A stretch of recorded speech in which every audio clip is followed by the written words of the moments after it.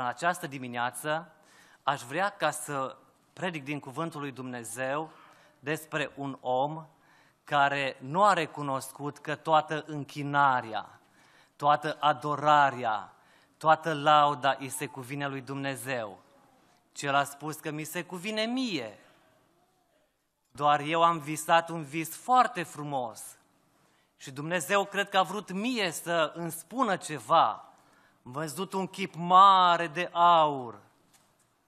Și apoi am văzut în, în, în visul meu uh, uh, trupul care era dintr-un material iară de mare calitate, din argint, aramă și așa mai departe, dar chipul de aur sunt eu, marele Nebucadnețar.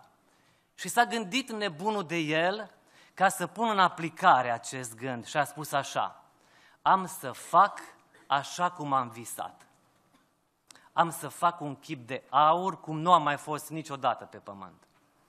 L-a făcut, după cum spun cei ce au cercetat lucrurile, înalt cam aproape de vreo 20 de metri și lat de vreo 2 metri, tot aur curat.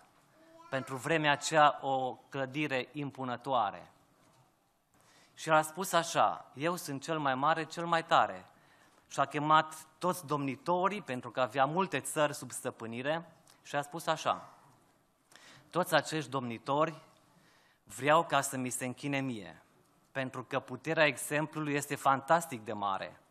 Dacă ei, căpetenilor, se vor închina în fața mea, toți ceilalți se vor închina și ei de asemenea înaintea mea. Așa a spus împăratul Nebucadnețar. Dar ceea ce m-a făcut și m-a determinat ca în această dimineață să vorbesc din acest pasaj este că ceva nu m-a dat liniște, ceva s-a lipit de inima mea, o imagine, un tablou, din acest episod din Daniel, capitolul 3. Când a chemat împăratul pe toți cei ce au cântat din tot felul de instrumente și a spus, când vor suna instrumentele astea așa de tare, nu cumva cineva să ridice mâini spre ceruri cum facem noi la poarta cerului și să spunem lăudat să fie Dumnezeul cerului și al pământului. Nu așa, ci toți să vă aruncați cu fața la pământ înaintea mea. Dar ce m-a frapat cel mai tare este că acolo, în acea imensă câmpie numită Dura, când toți s-au aruncat la pământ, au rămas trei în picioare. Trei ca niște lumini care nu s-au clintit, au rămas verticali. Au fost părâți, bineînțeles, de ceilalți de lângă ei, de colegii lor, și ei s-au apropiat de împărat și au spus, împărate, tu ai dat o poruncă după care toți cei ce vor auzi sunetul trâmbiței, cavalului, chitare, lăutei, psaltirei, cimpolii și a tot felul de instrumente de muzică, vor trebui să se arunce cu fața la pământ și să închine în chipului de aur. Și acum, și după care oricine nu se va arunca cu fața la pământ și nu se va închina, va fi aruncat în cuptorul unui cuptor aprins. Dar sunt niște iudei cărora le-ai dat în grijă tribut, treburile ținutului Babilonului, și anume Shadrach, Meșac și Abednego, oamenii care nu țin seama deloc de tine, împărate. Ei nu slujesc Dumnezeilor tăi și nu se închină chipului de aur pe care l-ai înălțat tu. Și apoi, împăratul a spus, cred că a fost o eroare. Și a început așa finuț, hei, hei, băieți, cred că voi nu ați stat bine cu urechile, și nu ați auzit bine ce s-a întâmplat aici, dar de dragul vostru mai repetăm o dată, mai facem o repetiție. Fiți pe fază, când veți auzi instrumentele, vă aruncați cu fața la pământ. Și acești trei tineri au spus așa, dar lăsați-mă să mai citesc un verset care spune așa, versetul 15 din Daniel 3. Acum fiți gata și în clipa când veți auzi sunetul trâmbiței, cavalului, chitarei, lăutei, psaltirei, cimpoiului și a tot felul de instrumente, să vă aruncați cu fața la pământ și să vă închinați chipului pe care l-am făcut. Dacă nu vă veți închina lui, veți fi aruncați îndată în mijlocul unui cuptor aprins. Și acum iată ce spune Nebucanețar. Și care este Dumnezeul acela care vă va scoate din mâna mea? Care este? Pe unde este? Unde stă ascuns? Și cei trei spun, auzi împărate, n-are rog să-ți pierzi vremea și nici noi nu ne vom pierde vremea să-ți demonstrăm. Dar acel Dumnezeu este aici, prezent în mijlocul nostru. Și mai târziu, la sfârșitul capitolului, uh, Nebucarnețar, știți prea bine cum spune, istoria, după ce acești trei tineri n-au ascultat de porunca Domnului Împăratului și au fost aruncați în cuptorul aprins, Împăratul a văzut patru persoane acolo, nu trei, și a patra semăna cu un fiu de Dumnezeu și, recunoscând cine este, a declarat așa. Și acum, porunca pe care o dau, zice Nebucanețar, orice om din orice popor, neam sau limbă ar fi, care va vorbi de rău pe Dumnezeul lui Shadrach, Meșac și Abednego, va fi făcut bucăți și casa lui va fi prefăcută într-un mormânt de într-un morman de murdării, pentru că nu este niciun alt Dumnezeu care să poată izbăvi ca El. Amin. Iată Dumnezeul pe care îl cauți, cu alte cuvinte. Iubiții mei, acest capitol din Daniel 3 este un capitol foarte palpitant. În acest capitol vedem cum, uh, sau mai bine zis, ce poate să facă omul, ce poate să facă Satan și ce poate să facă Dumnezeu, binecuvântat să fie numele Lui. Titlul acestui mesaj l-am pus așa, Secretul rămânerii vertical. Secretul rămâne, rămânerii în picioare. Este atât de important ca să rămânem în picioare, iubiții mei. Suntem înconjurați și asaltați și noi de idolii viacului 21, dar Dumnezeu nu are mai mare bucurie ca ai lui copii să rămână verticali. Dați-mi voie să citesc declarația unui creștin din Canada, din orașul Calgary. Ce i s-a întâmplat lui? Spune așa, Simt că oamenii din companie sunt acum împotriva mea pentru că am spus că sunt creștin. Împărtășesc valorile morale și spirituale creștine și nu voi renunța niciodată la ele, a declarat Rau, așa îl chema. Cine era Rau? Era un șofer al unei companii. Aici, în acest oraș, în fiecare an, era un festival gay și autoritățile din oraș vreau ca să încurajeze acest festival și s-au gândit așa, hai să pictăm toate autobuzele din oraș care vor participa la această manifestare în culorile curcubeului și vom pune și data când va avea loc această manifestație. Dar Rau a spus așa, dacă voi face lucrul acesta, voi fi împotriva credinței mele și îl voi jigni profund pe Dumnezeu. Iată ce mai spunea așa. El a mai declarat public că preferă mai degrabă să renunțe la munca sa decât să conducă unul dintre aceste autobuze, deoarece ar face acest lucru împotriva credinței lui creștine. Eu sunt dispus să sacrific tot, a spus acest om, și să sufăr pentru a apăra ce este drept și corect. El a mai spus așa că eu m-am bine cu toți colegii mei din companie, nu m-am rău cu nimeni dintre ei. Dar mai mult decât atât, păstorul lui a fost atât de impresionat și a spus, mă bucur că în biserica mea am asemenea oameni. Tot timpul m-am trudit să sădesc în inima lor ca acești copii să rămână fermi și să facă tot ceea ce trebuie să facă. Cred că și noi ne bucurăm că în această biserică toți oamenii, toți membrii bisericii, frați și surori și copii, în situații de genul acesta, când se fac presiuni din toate părțile, să rămânem cu toți în picioare. Sunteți de acord cu mine? Dumnezeu vrea să rămânem, dragii mei, verticali, indiferent ce s-ar întâmpla. Să rămânem în picioare și să nu ne temem de nimic. Acum, știți dumneavoastră, avem și noi idolii, cum am spus, ai secolului 21, idol cu care noi ne confruntăm, care cer închinarea noastră. Dați-mi voie doar câțiva să enumeri. Este idolul imoralității, care vrea închinare de plină, care vrea să te închini înaintea lui. Există cu adevărat un cult, un cult, dacă vreți, al sexualității, a prostituției. La orice pas îl întâlnește oricine. Este cu adevărat o religie și aceasta face presiune pe toți oamenii. Închină-te mie. Fă-o și tu. Indiferent de vârsta ta, nu contează, acest uh, idol cere închinare. De la cel mai tânăr până la cel mai bătrân.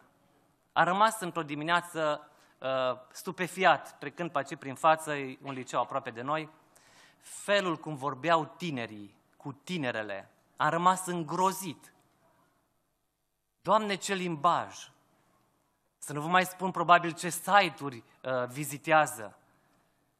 Să nu vă mai spun uh, cu, cu ce suntem bombardați probabil în fiecare zi, toate imaginile din jurul nostru. Și m-am gândit, Doamne, câtă presiune! Câte presiune! Și să rămâi totuși în picioare. Colegii spun, eu am o experiență deosebită, am o experiență nouă. Practică și tu. O, tânăr drag, în această dimineață, dacă ești în această biserică aici, să te ajute Domnul să rămâi în picioare în fața oricărei presiuni din partea acestui idol. Dar nu atât. Mai ai ispite de genul acesta și presiuni și la locul de muncă. Parcă colega ta este mult mai atentă decât soția ta sau probabil spui că fii atent, uh, colegul meu ce frumos se poartă cu mine. N-am mai primit flori nu știu de când. Nu mai m-a deschis nimeni ușa ca să intru, să poartă așa de frumos cu mine. Dar uite ce frumos zâmbește. Și ai impresia că ce este la lucru este mai bun de ce acasă. Niciodată, dragul meu. Trebuie să reziști și să stai tare în fața acestui idol al imoralității. Apoi, dragii mei, mai sunt atâtea, uh, sunt idoli, de exemplu, idolul Mamona, despre care spune Biblia, alergarea aceasta, goana aceasta după bani. E dimineața până seara să nu vezi decât bani, bani și bani. Și să te închini banului. Banul nu este rău, dragii mei, este bun. Atâta vreme cât uh, el este sluga noastră și noi nu suntem sluga lui. Acest idol cere închinare. Și atunci devenim tot mai nemulțumiți. Este apoi, dragii mei, uh, idolul acesta uh, al lumii, al chipului acestui viac, dacă vreți, moda ei, și Pavel spune în Romani, să nu vă potriviți chipului acestui viac, ci să vă prefaceți. Deci chipului acestui viac, vedeți asemănarea între chipul care l-a înălțat Nebucadnețar? Să nu vă asemănați cu acest chip, ci transformați-vă, înnoiți-vă, ca să puteți să rămâneți în picioare.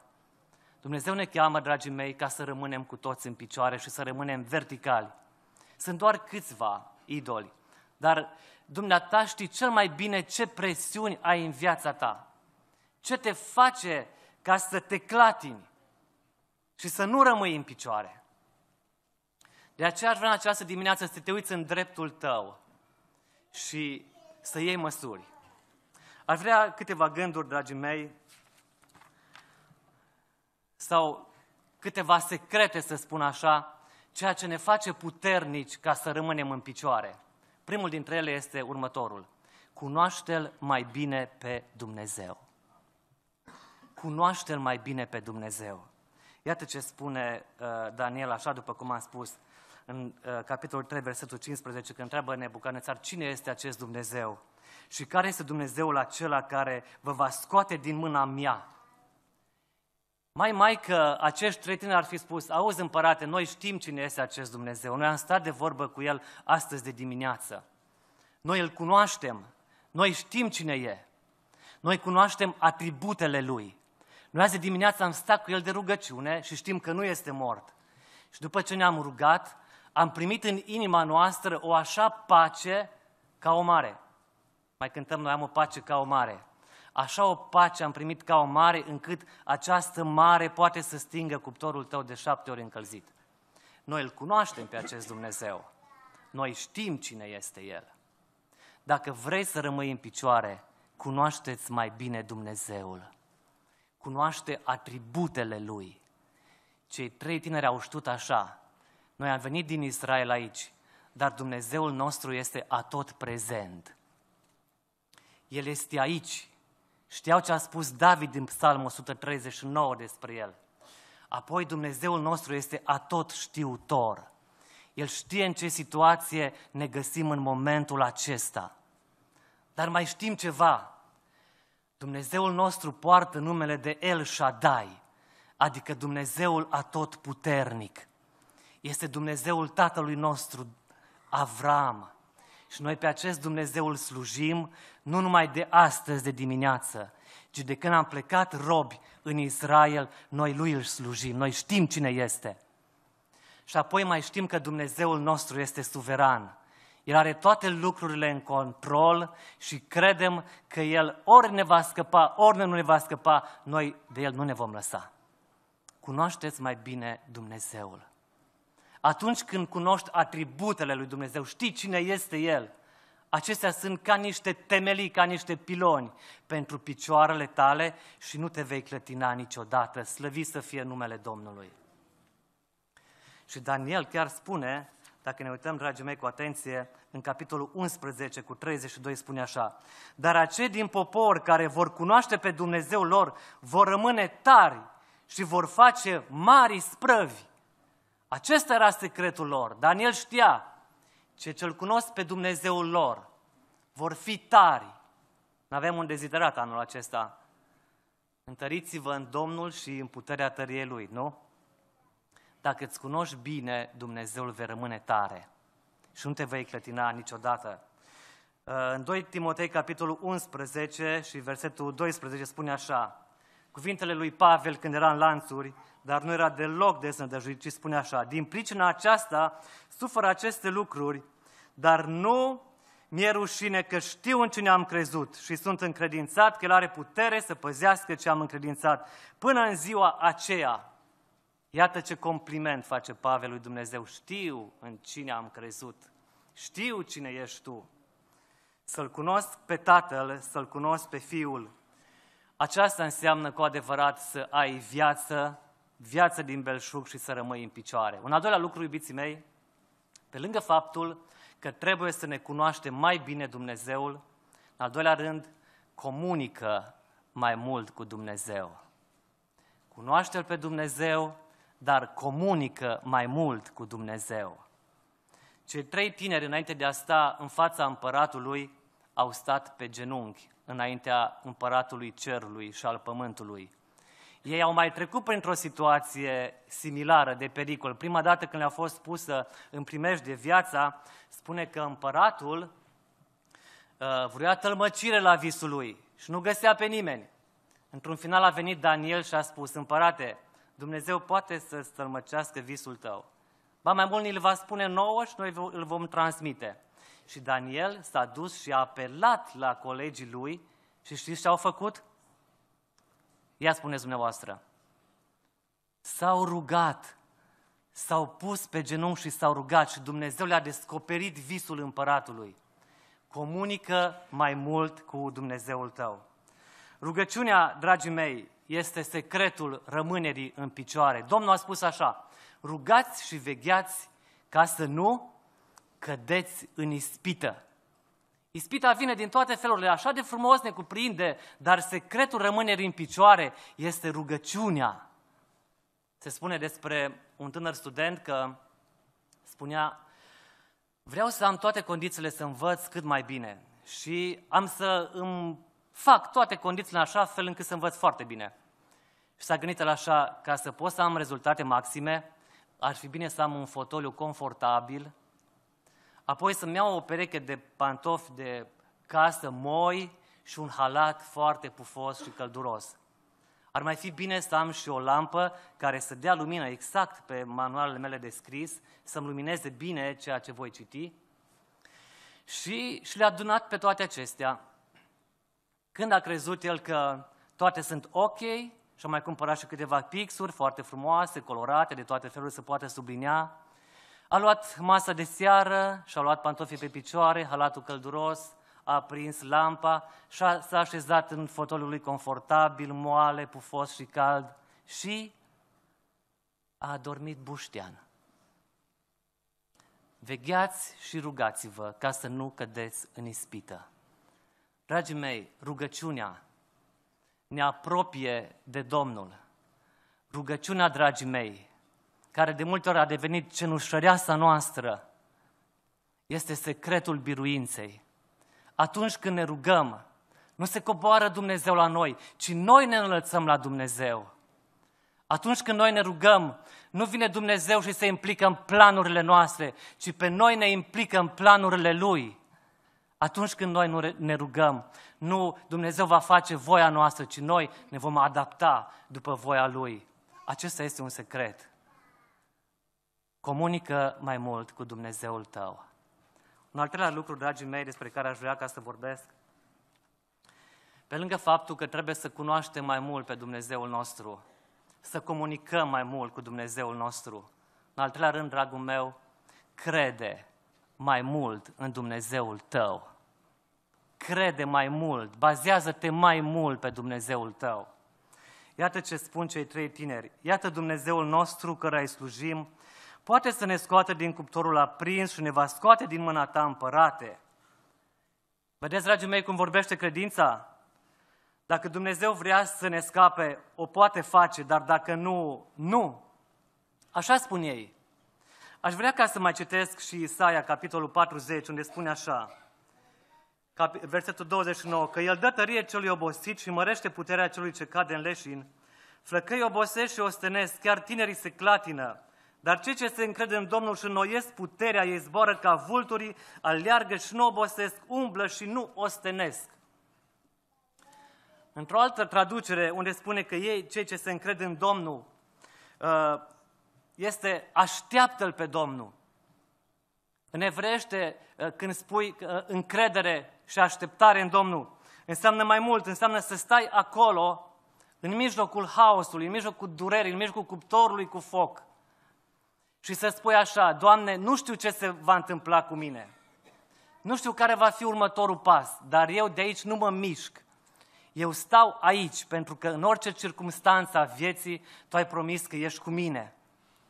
Nu contează că nu mă scapi. Nici pe fiul tău nu l-ai scăpat din circunstanța vieții lui. Dar eu stau acolo și aștept. Atunci când simt că nu mai pot să fac un pas înainte, când simt că nu mai pot să respir, știu că tu ești acolo să mă întărești. Și asta înseamnă să stai în prezența lui Dumnezeu și să te încrezi în El. Ajută-ne, Doamne, mai mult să ne încredem în Tine. Credința, dragii mei, este ceea ce te ține în picioare. Îmi place să cred că acești oameni au crezut în Dumnezeu, dar atunci când au fost în cuptorul cu foc, credința lor a strălucit, dacă vreți. Au fost presați. Au fost presați de circumstanțe. Acum ce vei face? Rămâi sau nu rămâi cu Domnul? Și atunci când ești presat, iasă din tine ce mai, ce mai frumos, ce mai, cel mai valoros. Aur iasă din tine atunci când ești presat. Credința i-a ținut în picioare. Iată, dragii mei, ceea ce ne poate face verticali, credința în Dumnezeu, să luăm pe Dumnezeu pe cuvânt. Dumnezeu nu face cu noi glume atunci când ne pune înainte promisiunile Lui, binecuvântat să fie numele Domnului. 1 Tit, capitolul 1, cu versetul 5, spune așa. Îmi aduc aminte de credința ta, spune Pavel lui Timotei, neprefăcută, care s-a slășluit mai întâi în bunica ta Lois și în mama ta Eunice și sunt încredințat că și în tine, Timotei. Mă aduc aminte de credința ta. Vedeți, mă ce, cre- ce rădăcini adânci avea credința lui Timotei? Era prima dată credință pusă în bunica lui, apoi în mama lui și apoi în el. Credința are rădăcini puternice și poate să țină în picioare neamul tău dacă vrei. De aceea este așa de important, pentru că astăzi am avut și o binecuvântare, ca părinții, bunicii, toți să lase această moștenire dacă vreți, credința puternică în Dumnezeu. Dumnezeu care mută munți, un Dumnezeu care răspunde. Și copiii noștri ar trebui să aibă experiența rugăciunii ascultate. Ajută-ne, Doamne, pe fiecare dintre noi să luăm pe Dumnezeu pe cuvânt Uh, povestea cineva, scria că când făcea studiile în Kenya, la ora de fizică, el a învățat că AC înseamnă curent continuu. Aceste două uh, cuvinte. AC, el așa a învățat la fizică, că înseamnă curent continuu. E, când a venit în America și s-a mutat acolo și a cumpărat o mașină care, bineînțeles, avea un buton pe care scria AC. Dar i-a fost frică să-l apese vreodată să întindă degetul acolo și să apese. Și nu l-a apăsat. Și toată vara a mers cu geamurile lăsate în jos și transpira de numai. Se mulțumea din când în când cu un mic ventilator care aducea aer de afară, cald, să spunem așa. Până într-o zi când un prieten a spus cu el în mașină, da auzi, de ce, drum, de ce nu dai drumul la climă? Păi nu am. Păi da, ai butonul ăsta, AC. Și când a dat drumul, a apăsat pe AC, aer condiționat, viața dintr-o dată s-a schimbat și tare bine a fost. Iubiții mei, nu se întâmplă așa și cu viața noastră? Trăim fără să ne bazăm pe promisiunile lui Dumnezeu o viață întreagă, fără să apăsăm acest buton, dacă vreți, al credinței, fără să folosim resursele pe care Dumnezeu le-a pus în noi. Și de multe ori, dragii mei, uh, sfârșim viața fără să despachetăm acest tezaur pe care Dumnezeu l-a lăsat în noi și pierd poate și uh, uh, talentele noastre și darurile noastre pe care nu le punem în, în slujba lui Dumnezeu, pentru că nu știm să folosim acest buton al credinței. Dragul meu, dacă vrei să rămâi vertical, cunoaște-L pe Dumnezeu. Apoi comunică cu Dumnezeu și apoi crede puternic în Dumnezeu. Vreau să te mai avertizez ceva. Diavolului nu-i plac oamenii care rămân în picioare, va face tot posibilul ca tu să nu rămâi în picioare. Și are două mari trucuri sau două mari minciuni, pentru că el este tatăl minciunii. Primul dintre el este de felul acesta. Tu nu o să poți să cazi niciodată. Alții care sunt slabi pot să cadă, dar tu, tu niciodată. Tu ești un om spiritual. Ca tine nu-i nimeni de tare. Tu nu o să cazi niciodată. Aceasta este o minciună a diavolului. El apelează la eul tău. Să te bazezi pe propriile tale forțe. Ba să te bazezi pe oameni în circumstanțe. Dar știți cu ce scop? Să te dezarmeze, să lași garda jos, să lași armătura jos, să fii vulnerabil în fața lui și astfel el să poată să te atace. Dar nu uita, trufia, mândria merge înaintea căderii. Diavolul va face lucrul acesta, te va împinge în față și va spune că tine nu-i nimeni. O, atât ești tu de spiritual, ești tu mai pocăit de pe fața pământului. Dacă nu reușește cu aceasta, va apela la cealaltă extremă și va spune așa, tu vei cădea, nu vei rezista. Tu nu o să poți stai în picioare. O să apeleze, dragii mei, la, la, la acest lucru și spune că ție o să-ți fie frică. O să spună că da, tu nu ai merite, într-adevăr. Și nu o să rămâi în picioare niciodată. Nu-l crede. Nu-l crede, este un mincinos. Noi dacă suntem tari și rămânem în picioare, rămânem datorită faptului că Dumnezeul nostru este viu în vecii vecilor și El te va ține în picioare, binecuvântat să fie numele Lui. Datoria ta este să-L cunoști mai bine pe Dumnezeul tău. Caute, descopere atributele Lui. Vezi bunătatea, vezi dreptatea, vezi că este sfânt, vezi că este drept. Și caute să fii și tu așa ca El. Apoi, comunică mai mult cu El, stai de vorbă, roagă-te neîncetat. Așa spune Scriptura, vegheați, rugați-vă, în orice vreme, echipează-te. Oamenii care nu se roagă, eh, care nu stau pe genunchi, vor muri, cum spunea ceva, vor muri în picioare. Ca să stai în picioare, trebuie să stai prima dată pe genunchi. Și apoi, crede-L. Crede-L pe cuvânt pe Dumnezeul tău. Ajută-ne, Doamne, pe toți să rămânem în picioare, să rămânem vertical și indiferent care idol va mai fi și se va ridica în viacul de acum, nimeni și nimic să nu-i doboare, căci Dumnezeul nostru, așa după cum au cântat instrumentiștii, este pe scaunul de domnie și merită toată cinstea, toată gloria și lauda în vecii vecilor. Amin.